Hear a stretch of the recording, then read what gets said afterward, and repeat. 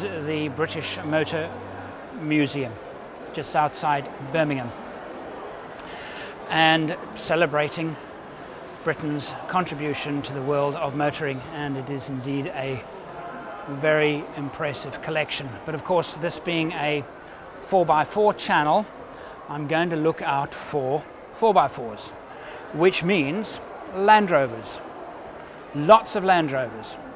But for me personally, this is something special because all my life, all my life, all my adult life, I have looked forward to seeing one particular vehicle because as a, as a child, I was smitten with Range Rovers and particularly with Range Rovers that drove from Alaska to Tierra del Fuego uh, at the southern end of South America. And after all these years, here is the actual vehicle itself.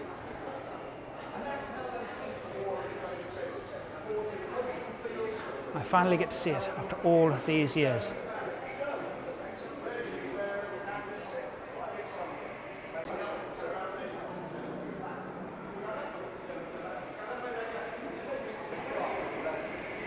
It's a bit, it's a bit, uh, I made models of it when I was a child. Um, I, I, it was the, it was, it was everything. It was, it was why I do this. It was why I, I got so involved with four-wheel drives and was this, this vehicle doing that trip. And I finally get to see it at 57 years old.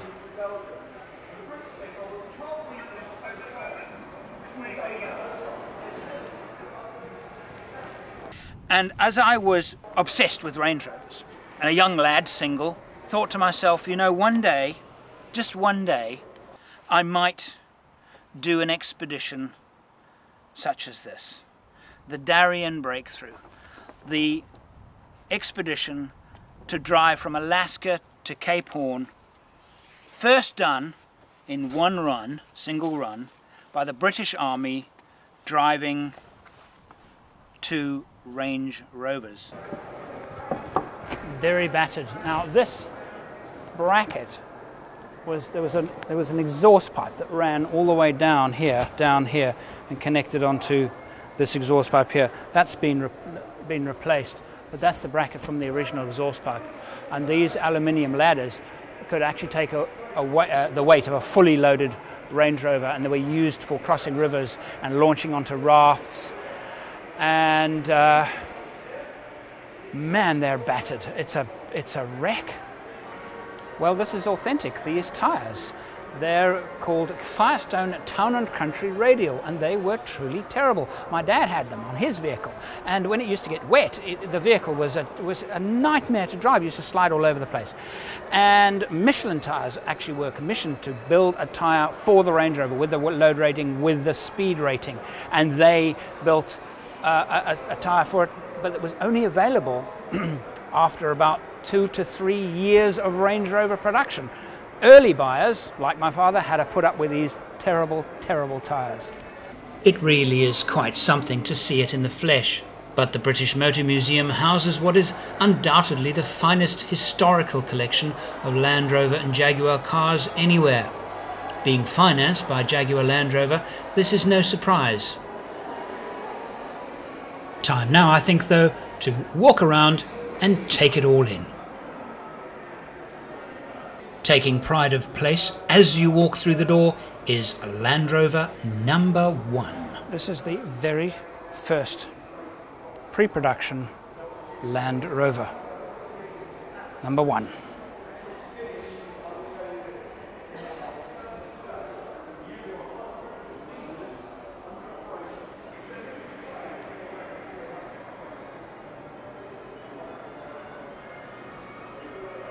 This was a 1953 Land Rover Series 1, uh, 86 inch wheelbase for the Royal, it was a Royal ceremonial vehicle.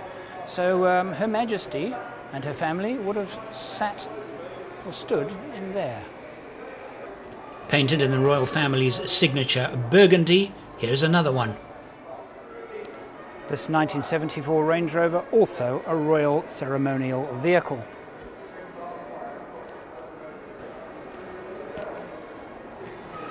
This 1949 Land Rover Series 180 inch station wagon is very rare.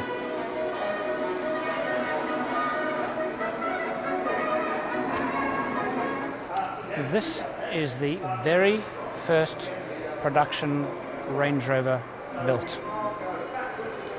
And probably this vehicle is worth close to a hundred thousand pounds. Nicknamed the Pink Panther, this is a desert military 109 inch wheelbase Land Rover Series 3.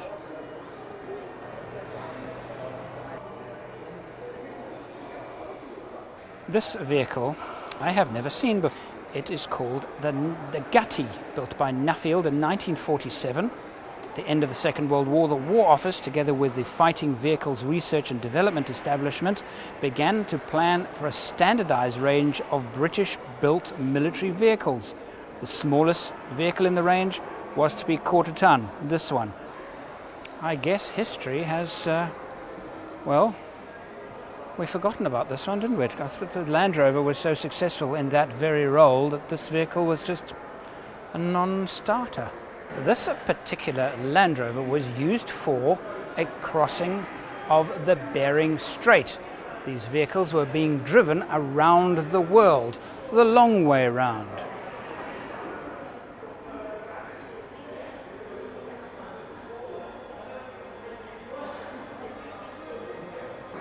Now, this is interesting.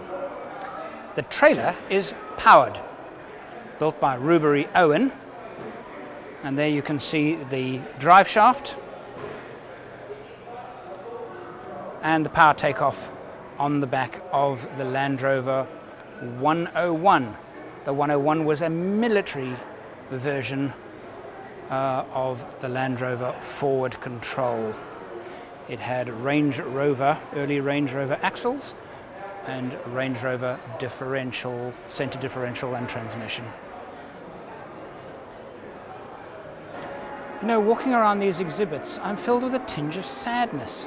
It's like a passing of something great.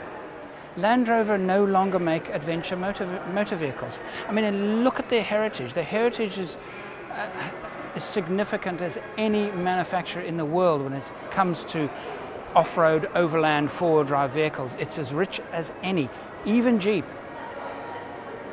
But now look at them. They're making luxury cars.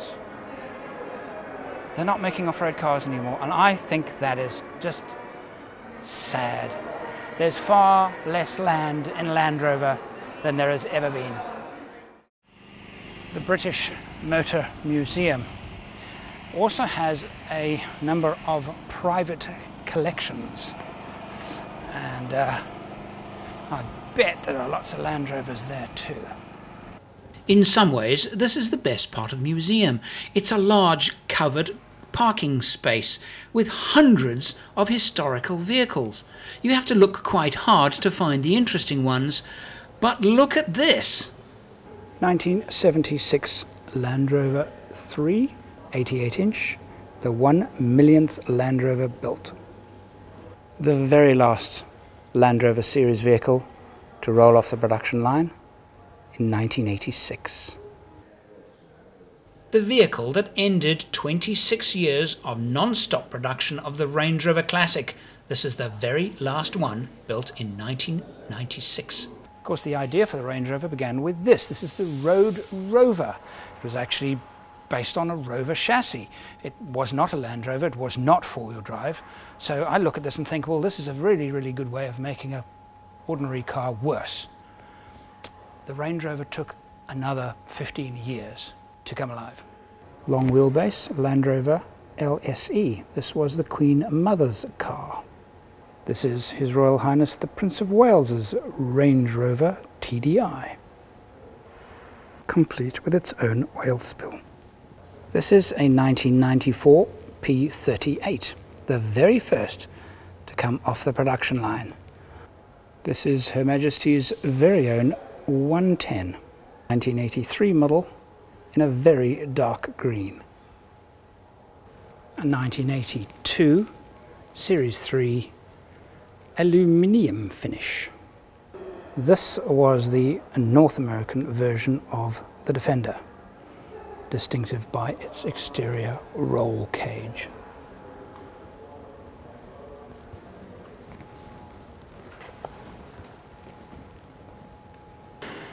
In my own personal quest to find the world's most beautiful car, coming in an incredibly close second, in fact they're neck and neck, is the E-Type Jaguar.